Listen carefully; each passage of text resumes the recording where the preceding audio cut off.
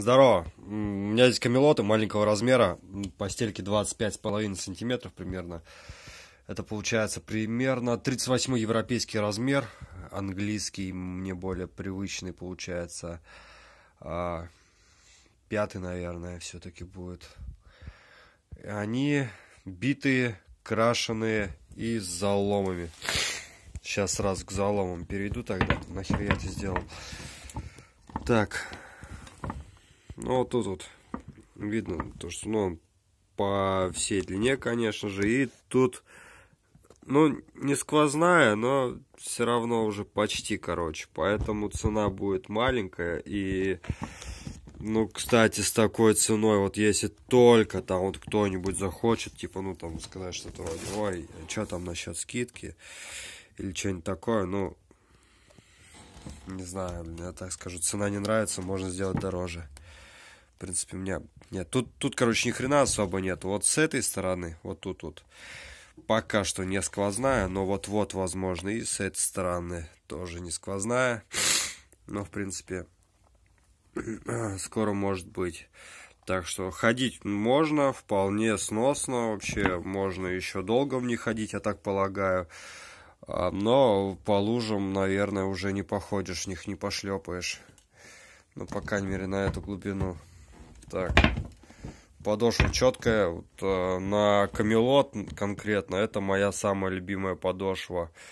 Есть еще подошва команда, как бы, как мне помнится, и шестеренки, как у Гриндерса, только камелот. Вот конкретно среди этих троих, вот у камелотов мне больше всего эта подошва нравится, но мне пока не удавалось найти себе такие. В принципе, я небольшой фанат камелотов. Сзади тоже они все морщинистые, есть такие всякие трещины. Ну, задние трещины, они вообще не критичные ни разу. Ну, тут, ну, вот на сгибах только вот заломы, они такие нормальные. В принципе, задние эти не очень так. Блин, извините, простыл чуть-чуть походу. Фокусируйся, чмо.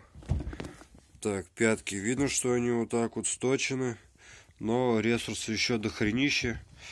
В принципе, дискомфорта быть не может. Носки подняты.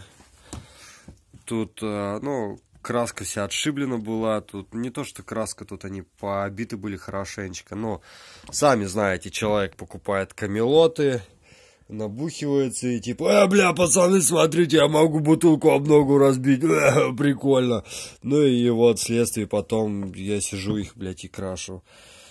Ну, как вы понимаете, короче, в принципе, я не знаю, меня большая редкость, чтобы камелоты или стелы попадались без зарубов на носах. Ну, польская обувь очень везучая на это дело. Так, ну, не знаю, что сказать даже. Ну, все вроде бы как. Авито доставку я не отправлю, даже вот эти ботинки. Ну, блять, все, что еще сказать? Покупайте, приезжайте, мерьте, заказывайте по предоплате почтой, там, не почтой, Боксбери. А, еще, кстати, блин, момент, а, не знаю, почему ты именно сейчас решил сказать, Сбер, Сбер а, логистика идет нахуй широкими шагами просто. У меня подруга уже третий день пытается отправить, ебалу эту тупорылую Сбер логистика. Я лично вообще прямо, ну, против этой хуйни, я ну, я, блин, ну, как бы за мной, как за продавцом, идет ответственность по отправке, как бы там, но со Сберлогистикой я работать как бы не хочу, так что простите уж меня, пожалуйста. А так, в смысле, в остальном выбор ваш, большая редкость, чтобы я отказывал в выборе транспортной компании. Ну, он что, заебало пиздеть. Отстаньте от меня, короче, давайте пока.